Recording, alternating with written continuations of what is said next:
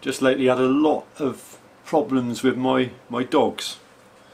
As you know uh, we had little um, Elsa. She was my main camping dog. Uh, sadly uh, I had to have her put to sleep six weeks ago. Yeah six uh, yeah six weeks. It was six Five weeks. five weeks Mandy's in the background there Mandy five weeks ago was in the Bristol Heart Institute having a, a fairly massive operation. Um, she's back home uh, and um, I've been doing a lot of uh, caring duties. I've been able to get into the workshop to do uh, a few knife builds and managed to finish off a few knife builds. This little one here, little Jess, uh, she's 15 and a half now ever since Elsa has been gone, uh, she's not barked, she's not growled, she's gone off her food, and uh, she, well, she's going downhill to be honest with you. And um, she had an ordeal um, about two months, two and a half months ago. We had to have her uh, left eye taken out, and uh, no, I don't think she's long for this world really uh, and that'll be um, that'll be that with my dogs. Uh, I spent a lot of money on these dogs in the last uh, three months. Uh, I bet the the vet's bill was not far short of uh, two thousand pound, and the results three to four months on from that are probably going to be two deceased dogs.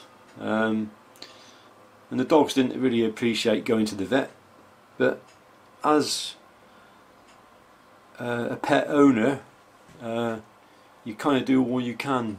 Um, you do all you can to, for the dog, you know, for the dogs. Uh,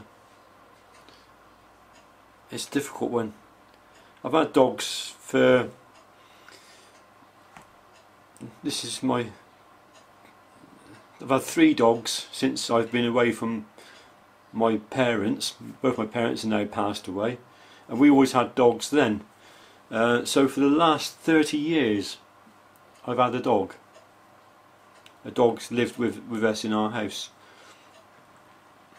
And I've had so much fun and pleasure and joy from these two dogs. Uh, and the pain in losing them um, reflects that joy. Uh, so immense joy from having the dogs and uh, immense sadness when they part. Uh, isn't it Jessie? Mm, good girl. Anyway, they're only dogs, but they become part of your family you know?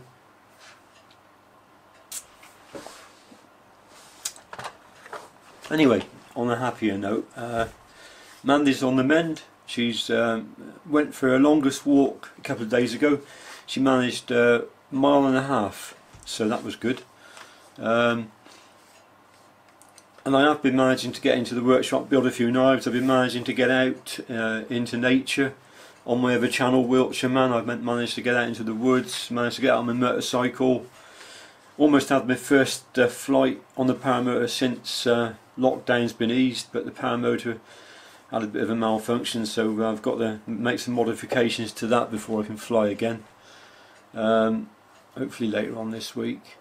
Uh, but the knife making's been going well for me. Um, I've been able to use my new grinder uh, I'd like to talk about that grinder because um, it's been built to a standard and not to a price like so many things are in this modern day and age. Uh, and I'm really impressed with uh, with how well that grinder's been working for me. Um, it's a revelation, uh, fantastic bit bit of kit, and that was an MP, uh, Mike Palmer. Mike's also a knife maker, and uh, he's a, a, jolly good knife maker at that as well. So um, you know, uh, another uh, UK knife maker to, to check out I would say. Anyway, let's look at some of my recent knife builds. Uh, wonder if I can get this in the light. Ah, there we go. We're in the light. This is one for Mark. This is going out this morning. Um, as you know, I don't sell. Uh, I don't take orders, but what I do do is when I sell a knife, if I get another load of email inquiries in, then I say to those people, if you hang about, I'll have another knife ready in a, a week or two, um, and uh, and I can do one for you then. So Mark falls all these people that have bought these knives, they fall into that category. They're people that I've inquired in the past and they were unsuccessful, and uh, then I was able to build a knife for them. So there's this is Mark's Desert Ironwood.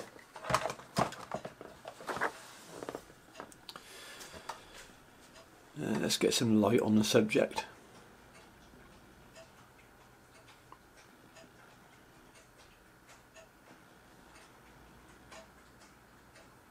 Tapered tang, green G10 liners, mosaic pins. That's going to be wrapped up and packed and set on its way uh, this morning. Our post office is back to normal now, thank goodness. This one is for Shane.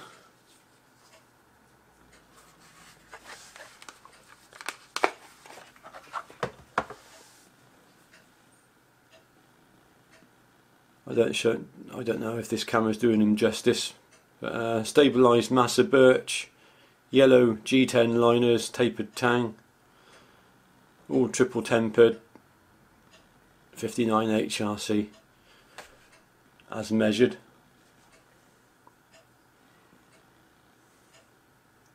It's quite a, a harsh direct sunlight on that so uh, yeah I'm almost in shadow aren't I?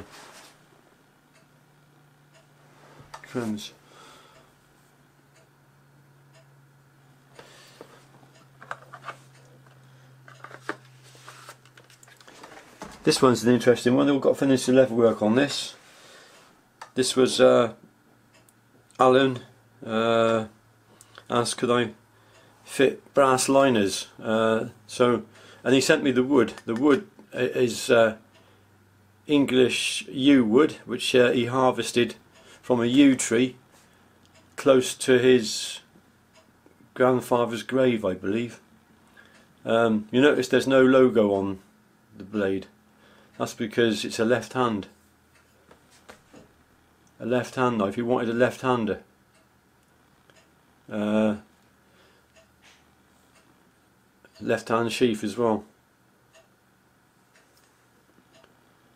There's the thick brass liners.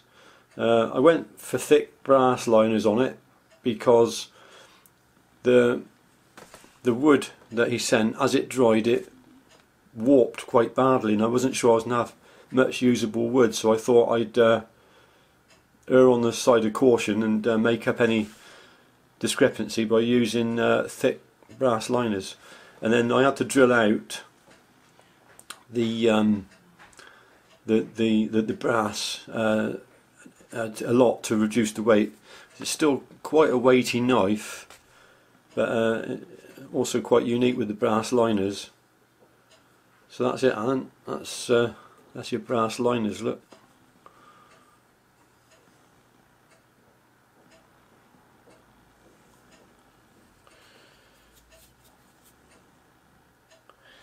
Um,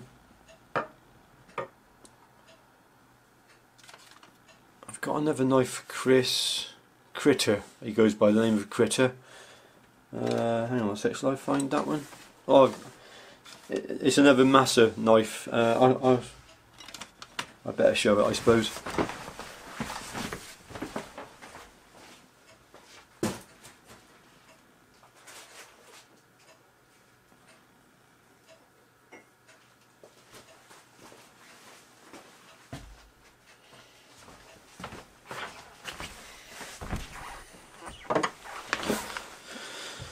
So critter, this is uh, this is critter's knife. uh, standard classic in the right hand uh, with tapered tang black G10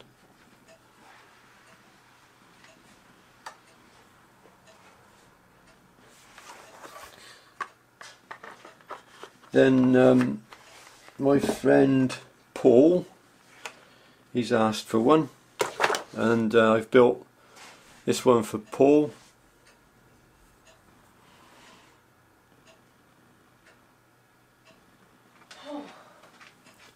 This is red G10 with solid pins, 4mm tapered tang. It was Paul actually that many years ago he gave me a, uh, a Woodlore, an Alan Wood Woodlore and uh, I was able to use the Alan Wood Woodlore to um, model my handle shape and size on so that's uh, more or less the same uh, handle size and shape as the uh, Alan Wood Woodlore. That knife was my main inspiration to start knife making actually because I always wanted an Alan Wood Woodlore. Uh, at that time I could never afford one. And then Paul came to visit me once uh, a few years ago and uh, to buy one of my knives. And then um, when... Hang on a sec. So, my friend Ant. Ant, can I ring you back? I'm just making a video. You carry on making your video. Oh, yeah. Yeah, your your feature on my video. okay. Well, do you want to say hello to the people? Hello, people. There you go. Say it again, Ant, so they can hear you. Hello, people. There you go. Look, I'll give you a ring back in a minute. No problem. Cheers, Ant. Bye. That's Ant, who uh, often helps me when we go to uh, knife show, and we we do a lot of um, camping together as well. Uh, and we will again once the lockdown has been eased a bit more. Um, so that's that knife, and I got one other knife which um, a chap on Facebook uh, asked me about. Um, hmm. I'll, uh, I'll haven't got his name to hand immediately and he doesn't know what I'm going to offer him yet um, but it's this knife uh, this is another classic tapered tang black G10 solid pins um,